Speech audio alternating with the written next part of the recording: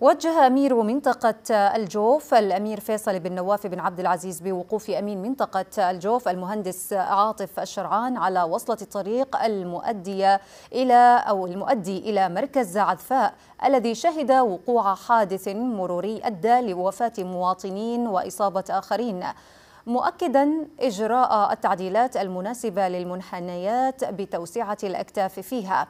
ولفت المهندس الشرعان إلى أن هذا الطريق غير مهيأ بالأساس وغير معتمد لمرور المركبات الخاصة إذ إنه مخصص لمكب النفايات وسيتم البدء بإجراء التعديلات وفق توجيه أمير المنطقة.